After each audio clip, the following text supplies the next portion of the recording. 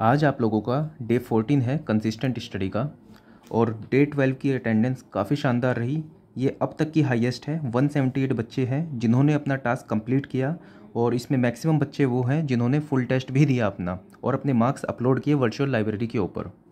तो day fourteen का task देखते हैं आज का। आज मैं डी डी ए के भी टास्क स्टार्ट करने वाला हूँ। मैंने एनालाइज़ किया डी डी ए का भी पेपर तो उसमें मुझे समझ में आया कि जो इंग्लिश का पेपर है इंग्लिश के क्वेश्चन हैं, वो इस लेवल के नहीं है कि आप उसको प्लिन टू पैरामाउंट से करें। यू के पी एस सी ए के लिए मैंने बताया था कि प्लिन टू पैरामाउंट करनी ही पड़ेगी आपको, उससे आपके मैक्सिमम नंबर आ जाएँगे। लेकिन डी डी ए जेई के लिए प्लिन टू पैरामाउंट करने की कोई ज़रूरत नहीं है। इसके लिए मैं अभी देख रहा हूँ, कल तक मैं आपको इंग्लिश का टास्क का भी बता दूँगा कि कहाँ से आपको करना है। मैं आपको टॉपिक्स देने लगूँगा। लेकिन हाँ आज मैंने एप्टीट्यूड ऐड किया है। तो इंग्लिश के लिए मैं कल तक देखता हूँ, थोड़ा सा रिसर्च और करता हूँ कि कहाँ से आपको इंग्लिश के जो सबसे मैचिंग वाले क्वेश्चन होंगे आपको डी डी e के लिए, वो मैं आपको दे सकूँ। तो कल तक का वेट करो आप, लेकिन हाँ आज मैं एप्टीट्यूड का टास्क आपको दे दूँगा। तो आपका आज का टास्क ये है कि आपको हिस्ट्री के अंदर हाँ ये जो जितने भी मैं आपको टास्क दे रहा हूँ, इन सब के जो नोट्स हैं पिंड कमेंट यानी कि जो पहला कमेंट आप देखोगे इस वीडियो के नीचे, जो पहला कमेंट है, वहाँ पर आपको काफ़ी सारे लिंक मिल जाएँगे। आप उन पर क्लिक करोगे तो आपके पास ड्राइव का लिंक खुलेगा। वहाँ से आप डाउनलोड भी कर सकते हो वो सब नोट्स तो एग्जैक्टली exactly जिस नोट्स से भी मैं आपको टास्क दे रहा हूँ पेज नंबर बता रहा हूँ, वो मैंने पहले से ही अपलोड कर दिए हैं। आप वहाँ पर जाकर देख सकते हो। तो हिस्ट्री के अंदर जो इंग्लिश वाले बच्चे हैं, उनको पेज नंबर फिफ्टी नाइन और सिक्सटी करना है। यहाँ पे आपको मॉडरेट और एक्सट्रीमिस्ट फ़ेज़ मिलेगा, जो हमारे पास फ्रीडम फाइटर्स थे। तो यहाँ पे आपको फिफ्टी नाइन सिक्सटी पेज करना है। ज्योग्राफी के अंदर आपने अब तक जितना भी कुछ भी पढ़ा है जितना भी आप कर पाओ, उतना रिवीजन करना है। प्लस ब्लैक बुक के भी लिंक आपको मिल जाएँगे। वहाँ से आप रैंडमली जो भी आपने अब तक टॉपिक्स किए हैं, उनके पी वाई क्यू करके देख लेना। जो पी वाई क्यू नहीं आएँगे आपको, उनको अपने नोट्स में ऐड कर लेना। पॉलिटी के अंदर अटॉर्नी जनरल ऑफ़ इंडिया आपको करना है और फंडामेंटल राइट्स आपको रिवाइज करना है। अटॉर्नी जनरल ऑफ़ इंडिया में करंट अफेयर का भी क्वेश्चन बन जाते हैं कि अटॉर्नी जनरल ऑफ़ इंडिया अभी कौन है, पहले कौन थे, ये सब आप देख सकते हो। जो नोट्स हैं वो पुराने हो सकते हैं तो अपडेट नहीं हुआ हो उसके अंदर तो आप अपडेट कर सकते हो। एक बार सर्च कर लेना कि करंट जो भी आपके पास पर्सनैलिटी है पर्सनैलिटीज़ हैं, उनके नाम देख लेना आप। फंडामेंटल राइट्स में आपको टास्क पहले ही दे दे चुका हूँ तो इसको आप रिवाइज करोगे। जो हिंदी वाले बच्चे हैं, उनको भारतीय राष्ट्रीय आंदोलन, ये करना है, ये आपको पेज नंबर फिफ्टी सिक्स और फिफ्टी सेवन मिलेगा। ऑल दो काफ़ी सारे आंदोलन हैं, जो कि लगभग छः सात पेज पे आएँगे आपको सभी पेजेस नहीं करने हैं, आपको सिर्फ़ फिफ्टी सिक्स और फिफ्टी सेवन पेज करना है। फिर से मैं आपको बता रहा हूँ, आपको एम्फेसिस ज़्यादा टेक्निकल के ऊपर रखना है।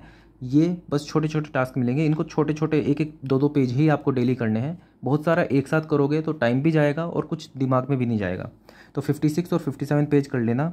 ये सब नोट्स में अपलोड कर दिया है मैंने पहले ही, वहाँ से आप जाके देख सकते हो। और ज्योग्राफी में हिंदी वाले बच्चों को भी रिवीजन करना है, जितना आप लोग अब तक पढ़ चुके हो। पॉलिटी में भी अटॉर्नी जनरल ऑफ़ इंडिया जो कि हिंदी में बोलते हैं, भारत के महान्यायवादी, उनको आपको पढ़ लेना है और फंडामेंटल राइट्स आपको भी रिवाइज करना है। एप्टीट्यूड में जो डी डी ए वाले बच्चे हैं, या फिर आप कोई भी एग्ज़ाम की प्रिपरेशन कर रहे हो और उसमें एप्टीट्यूड है तो प्रॉफिट एंड लॉस और एवरेज इसके क्वेश्चन आप कर सकते हो। आपके पास कोई भी बुक हो, आप उससे रिफ़र कर सकते हो, उसके क्वेश्चन कर सकते हो। मैं भी एक यहाँ पर रेफरेंस के लिए बुक डाल दूँगा, उससे भी आप प्रैक्टिस कर सकते हो। रीजनिंग में आप एनोलॉजी और काउंटिंग ऑफ़ फिगर्स के क्वेश्चन करोगे। काउंटिंग ऑफ़ फिगर्स जैसे मान लो ये ट्रायंगल है, पूछ लिया जाए कि इसके अंदर कितने ट्रायंगल है। ये तो काउंटिंग ऑफ़ फिगर का क्वेश्चन हो गया। तो ये दोनों चीज़ें आप करोगे। तो ये आपका नॉन टेक्निकल का पार्ट हो गया, जो कि आप, आपका आज का टास्क है, जो आपको कंप्लीट करना है। टेक्निकल में आज मैंने ऐसे टॉपिक्स लिए हैं जो सिर्फ़ S S C JE P Y Q पढ़ने से ही आपके कवर हो जाएँगे। इससे बाहर जाने की आपको ज़रूरत नहीं है।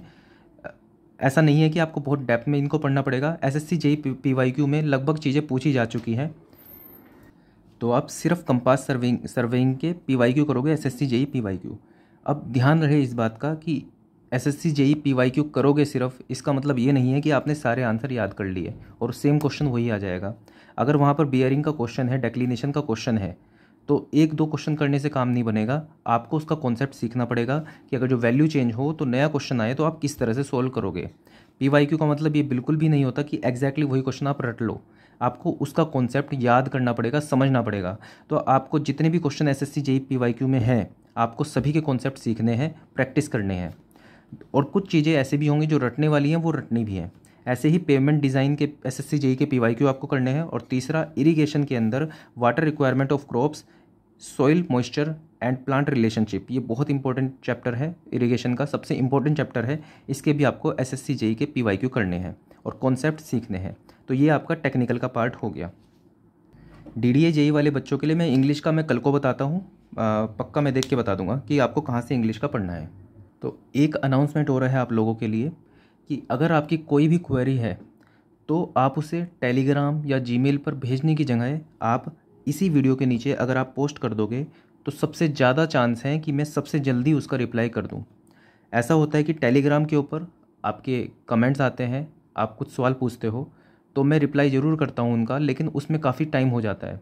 और जब टाइम निकल जाता है, मान लो आपने पूछना है कि आपका कुछ दिन बाद एग्ज़ाम है, और आपने कुछ मेरे से पूछा, लेकिन मैंने उसका आंसर आपको एग्ज़ाम के बाद दिया तो उसकी कोई रिलेवेंस नहीं रह जाती है।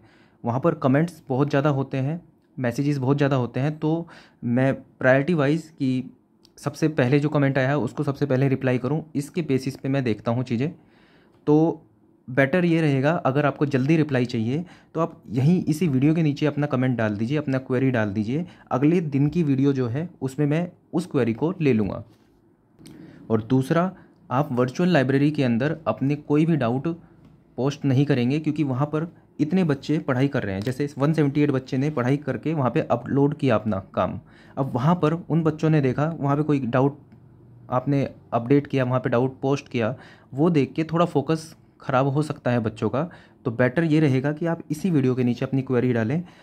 अगले दिन की वीडियो के अंदर जैसे ही मुझे टाइम लगेगा वीडियो बनाने के बाद, मैं उन कुछ क्वेरीज़ के आंसर दे दिया करूँगा। तो आज के लिए इतना ही। That's all for this video thank you